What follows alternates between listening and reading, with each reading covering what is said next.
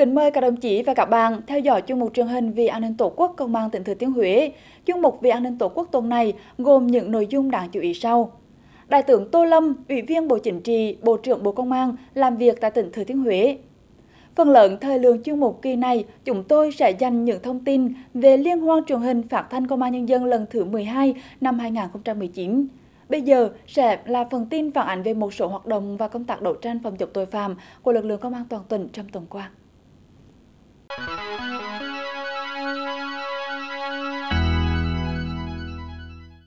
Chiều ngày 9 tháng 9 năm 2019, đoàn công tác của Bộ Công an do Đại tướng Tô Lâm, Ủy viên Bộ Chính trị, Bộ trưởng Bộ Công an dẫn đầu đã có buổi làm việc với Công an tỉnh Thừa Thiên Huế. Tham dự buổi làm việc còn có các đồng chí Lê Trường Lưu, Ủy viên Trung ương Đảng, Bí thư tỉnh ủy, Chủ tịch Hội đồng Nhân dân tỉnh Thừa Thiên Huế, đồng chí Phan Ngọc Thọ, Phó Bí thư tỉnh ủy, Chủ tịch Ủy ban Nhân dân tỉnh Thừa Thiên Huế và các đồng chí trong ban giám đốc và chỉ huy các đơn vị công an tỉnh Thừa Thiên Huế. Tại buổi làm việc, báo cáo với Bộ trưởng Tô Lâm về tình hình kết quả công tác của lực lượng công an từ đầu năm 2019 đến nay, Đại tá Nguyễn Quốc Đoàn, Giám đốc Công an tỉnh cho biết,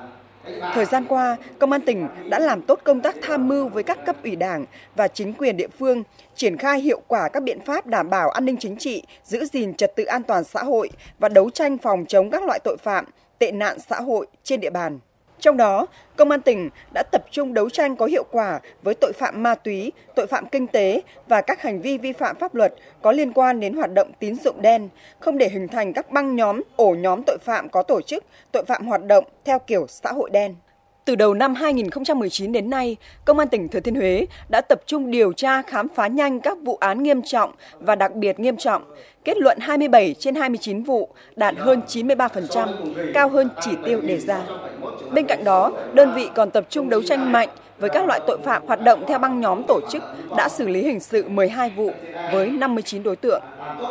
Ngoài thực hiện tốt công tác đảm bảo an ninh trật tự, từ đầu năm 2019 đến nay, Công an tỉnh Thừa Thiên Huế còn tập trung làm tốt các mặt công tác xây dựng Đảng, xây dựng lực lượng.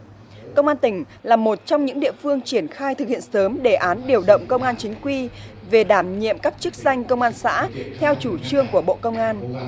Sau một thời gian thực hiện, chủ trương này đã được các cấp ủy đảng và chính quyền cùng đông đảo cán bộ nhân dân ở địa bàn tỉnh đồng tình và đánh giá cao. Phát biểu kết luận buổi làm việc, Bộ trưởng Tô Lâm chúc mừng những thành tích của Công an Thừa Thiên Huế đã đạt được trong thời gian qua. Đồng chí Bộ trưởng đánh giá cao lực lượng Công an tỉnh Thừa Thiên Huế đã tham mưu giải quyết kịp thời các vụ việc nổi lên ở cơ sở, giữ vững ổn định tình hình an ninh trật tự địa bàn và là đơn vị điển hình trong công tác triển khai thực hiện chủ trương đưa công an chính quy về xã. Bên cạnh những thành tích đã đạt được, Bộ trưởng Tô Lâm yêu cầu thời gian tới, Công an tỉnh Thừa Thiên Huế cần tiếp tục làm tốt hơn nữa công tác nắm tình hình để kịp thời tham mưu cho các cấp ủy đảng, chính quyền trong việc giải quyết các vấn đề liên quan đến an ninh trật tự, nâng cao hơn nữa hiệu quả công tác quản lý nhà nước về an ninh trật tự, chú trọng công tác bảo vệ an toàn, đại hội đảng các cấp tiến tới đại hội lần thứ 13 của Đảng và tích cực xây dựng phong trào toàn dân bảo vệ an ninh Tổ quốc để góp phần thúc đẩy phát triển kinh tế xã hội tỉnh nhà. Ngày 11 tháng 9, Công an tỉnh Thừa Thiên Huế phối hợp với Công an tỉnh Quảng Trị tổ chức sơ kết một năm thực hiện quy chế phối hợp đảm bảo an ninh trật tự tại địa bàn giáp ranh Hồng Thủy, A Lưới, tỉnh Thừa Thiên Huế và A Bung, Đắk Rông, tỉnh Quảng Trị. Theo đó, Công an hai huyện đã tích cực tham mưu cho cấp ủy chính quyền và phối hợp với các ban ngành tổ chức tuyên truyền, vận động người dân địa bàn giáp ranh chấp hành nghiêm chủ trương, chính sách của Đảng, pháp luật của nhà nước, nhất là công tác quốc phòng, an ninh, phòng chống tội phạm ma túy, phòng chống mua bán người, trong năm 2019, Công an hai địa phương đã phối hợp tổ chức 14 lượt tuần tra với hơn 75 lượt cán bộ chiến sĩ tuần tra mật phục trên các tuyến đường, địa bàn trọng điểm. Nhờ thế, tình hình an ninh chính trị tại địa bàn giáp ranh hai địa phương được giữ vững, không để xảy ra đột xuất bất ngờ, tích cực phối hợp giải quyết hiệu quả các vụ việc liên quan đến an ninh trật tự xảy ra tại địa bàn giáp ranh, đồng thời phát động mạnh mẽ phong trào toàn dân bảo vệ an ninh tổ quốc củng cố kiện toàn 7 tổ an ninh nhân dân, một tổ mô hình nói không với ma túy. Ngày 10 tháng 9, Trường Đại học An ninh Nhân dân và Công an Thừa Thiên Huế đã phối hợp tổ chức lễ bế giảng lớp liên thông từ trung cấp lên đại học, hệ vừa học vừa làm khóa 1, niên khóa 2016-2019. Khóa học đã trang bị cho đội ngũ học viên những kiến thức cơ bản và cập nhật những kiến thức mới về chủ trương, đường lối, chính sách của Đảng, Nhà nước trên các lĩnh vực chính trị, kinh tế, văn hóa xã hội, quốc phòng an ninh, các chiến lược phát triển đất nước theo tinh thần nghị quyết của Đảng. Đặc biệt là những kiến thức về phương pháp luận nghiên cứu khoa học, tổng kết thực tiễn, giúp các học viên nâng cao kỹ năng thực hành nghiệp vụ chuyên ngành. Kết quả, 134 học viên được cấp bằng tốt nghiệp đạt 100%, trong đó có 40 học viên xếp loại khá, 13 học viên và một tập thể được khen thưởng vì có thành tích trong công tác quản lý xây dựng lớp học và đạt điểm cao trong quá trình học tập. Ngày 10 tháng 9, Công an huyện Phủ Vang tổ chức sơ kết khu dân cư đạt tiêu chuẩn an toàn về an ninh trật tự năm 2019 tại thôn Diêm Tù, xã Vinh Thái. Thời gian qua, địa phương này đã thường xuyên quan tâm đến công tác đảm bảo an ninh trật tự, người dân chấp hành tốt các chủ trương, đường lối, chính sách pháp luật của nhà nước, đẩy mạnh phong trào toàn dân bảo vệ an ninh tổ quốc trong cộng đồng dân cư, xây dựng nhiều mô hình tự quản về an ninh trật tự. Người dân tích cực cung cấp cho lực lượng công an nhiều tin báo tố giác tội phạm, góp phần đảm bảo an ninh trật tự tại địa phương. Tại hội nghị, Chủ tịch Ủy ban Nhân dân xã Vinh Thái đã trao giải chứng nhận khu dân cư đạt chuẩn an toàn về an ninh trật tự cho thôn Diêm Tù, xã Vinh Thái, huyện Phú Vang và tặng giải khen cho một tập thể, ba cá nhân có thành tích xuất sắc trong phong trào toàn dân bảo vệ an ninh Tổ quốc ở khu dân cư. Dịp này, Công an tỉnh phối hợp với Công an huyện Phú Vang tặng 45 mũ bảo hiểm cho những gia đình có hoàn cảnh khó khăn. Cơ quan Cảnh sát điều tra Công an thị xã Hương Thủy vừa khởi tố vụ án khởi tố bắt tạm giam các bị can về hành vi lừa đảo, chiếm đoạt tài sản và trộm cắp tài sản. Cơ quan Cảnh sát điều tra Công an thị xã Hương Thủy vừa ra quyết định khởi tố vụ án, khởi tố bị can, bắt tạm giam đối với Nguyễn Hữu Quốc, sinh năm 1980, trú tại thôn Dưỡng Mông, xã Phú Mỹ, huyện Phú Vang, về hành vi trộm cắp tài sản. Trước đó vào ngày 17 tháng 8, Quốc đón xe từ Đà Nẵng ra Huế đến khu vực cầu Sam thuộc địa bàn thị xã Hưng Thủy tìm nhà dân nào sơ hở để trộm cắp tài sản. Khi đến nhà một người dân đang xây dựng, không có cửa nên Quốc đột nhập vào nhà. Thấy gia đình nạn nhân ngủ say nên đã lấy một chiếc điện thoại và túi sách, bên trong có khoảng 109 triệu đồng. Sau khi trộm cắp tài sản, Quốc đón xe trở vào thành phố Đà Nẵng. Ngày 11 tháng 9, Cơ quan Cảnh sát điều tra Công an thị xã Hưng Thủy vừa ra quyết định khởi tố vụ án, khởi tố bị can, bắt giữ đối tượng Ngô Phước, sinh năm 1996, trú tại xã Quảng Ngang, huyện Quảng Điền, về hành vi lừa đảo chiếm đoạt tài sản. Trước đó, vào ngày 11 tháng 8, Phước đến cửa tiệm bán vật liệu xây dựng tại đường Nguyễn Tất Thành, giả vờ đặt mua nhiều món hàng điện nước khác nhau để xây nhà tại phường Thủy Châu. Và việc Phước mua hàng là được chủ tiệm khác giới thiệu đến. Tin vào lời Phước, chủ cửa tiệm đã cho Phước chở các thiết bị gồm 6 cuộn dây điện, một bình nóng lạnh, một quạt nước, một vòi hoa sen. Sau đó, Phước đưa toàn bộ hàng hóa lừa đảo được vào Đà Nẵng để tiêu thụ. Trong quá trình điều tra làm rõ vụ án doanh nghiệp tư nhân Tuyết Liêm và công ty Tuấn Phát mua bán trái phép 46 hóa đơn chứng từ cho các công ty doanh nghiệp trên địa bàn với tổng số tiền hơn 1,2 tỷ đồng. Mới đây, Phòng Cảnh sát Hình sự Công an tỉnh ra quyết định khởi tố bị can, bắt tạm giam đối với Phạm Hồng Hải, 49 tuổi, trú tại 81 đường Sóng Hồng, thị xã Hương Thủy, về hành vi lừa đảo chiếm đoạt tài sản. Lợi dụng mối quan hệ quen biết với bị can Nguyễn Thanh Liêm, Phó Giám đốc doanh nghiệp tư nhân Tuyết Liêm, Hải thường xuyên đưa ra những thông tin không đúng sự thật về việc có mối quan hệ với nhiều lãnh đạo cấp cao của tỉnh.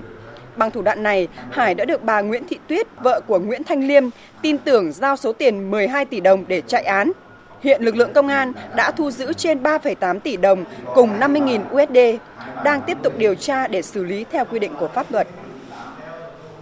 Thưa quý vị và các đồng chí, Tối ngày 9 tháng 9, tại Trung tâm Văn hóa tỉnh Thừa Thiên Huế, Liên hoan truyền hình phát thanh Công an Nhân dân lần thứ 12 năm 2019 đã chính thức khai mạc. Đây là dịp để những người làm truyền hình, phát thanh trong lực lượng công an toàn quốc hồi ngộ, trao đổi kinh nghiệm và giao lưu để nâng cao hơn nữa trình độ chuyên môn và bản lĩnh trong quá trình công tác. Kỳ liên hoan này được tổ chức với nhiều nét mới, các đơn vị dự thi cũng đầu tư công sức, trí tuệ để xây dựng nhiều tác phẩm đạt chất lượng tốt, Do đó, hy vọng sẽ để lại nhiều ấn tượng sâu sắc trong lòng mọi người. Phản ảnh của phóng viên truyền hình an ninh Thừa Thiên Huế. Tối ngày 9 tháng 9, tại Trung tâm Văn hóa tỉnh Thừa Thiên Huế, Liên hoan truyền hình phát thanh Công an Nhân dân lần thứ 12 năm 2019 đã chính thức khai mạc. Dự lễ khai mạc có các đồng chí Đại tướng Tô Lâm, Ủy viên Bộ Chính trị, Bộ trưởng Bộ Công an, Thượng tướng Nguyễn Văn Thành, Ủy viên Trung ương Đảng, Thứ trưởng Bộ Công an, đồng Chủ tịch Liên hoan,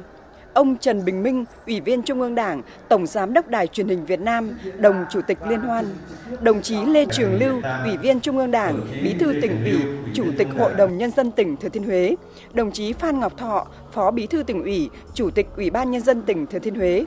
Trung tướng Mai Văn Hà, Cục trưởng Cục Truyền thông Công an Nhân dân, trưởng ban tổ chức Liên hoan, các đồng chí trong ban tổ chức, ban giám khảo cùng lãnh đạo tỉnh Thừa Thiên Huế, công an tỉnh, các sở ngành địa phương và gần 500 phóng viên, biên tập viên, người dẫn chương trình của các đơn vị địa phương đã tham dự.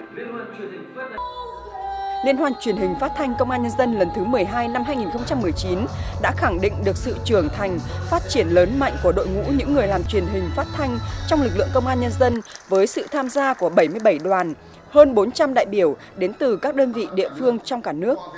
Cùng với đó là hơn 500 tác phẩm và hơn 40 phát thanh viên người dẫn chương trình dự thi. Các nội dung thi gồm chuyên mục an ninh trật tự, tác phẩm báo chí, tác phẩm chuyên biệt theo format ANTV, thi phát thanh viên dẫn chương trình. Đặc biệt năm nay, Liên hoan còn có nội dung thi mới là thể loại phát thanh với hơn 160 tác phẩm dự thi.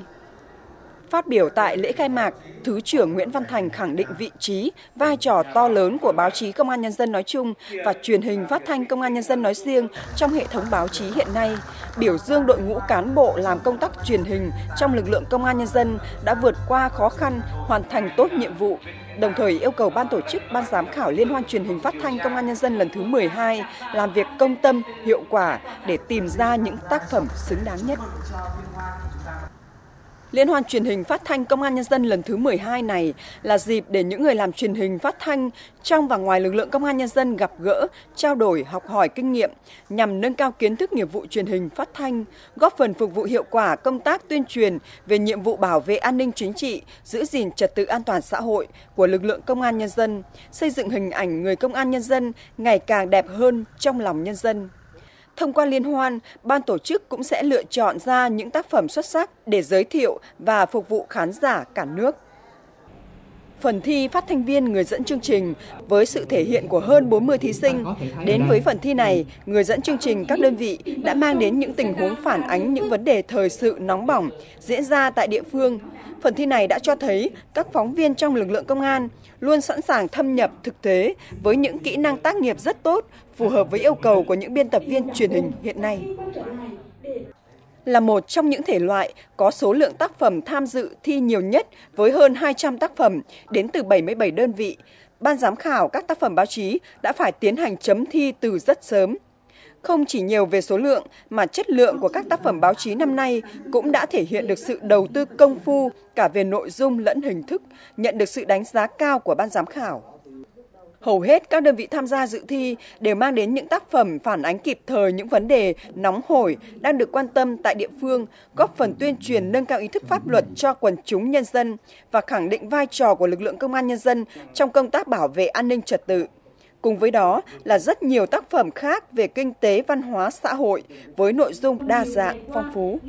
hơn 200 tác phẩm đến từ 77 đơn vị với các thể loại dự thi bao gồm phóng sự, phóng sự tài liệu, phóng sự điều tra, phim tài liệu, gương người tốt, việc tốt. Tác phẩm báo chí đã mang đến những màu sắc đa dạng cho Liên hoan truyền hình phát thanh Công an Nhân dân năm nay.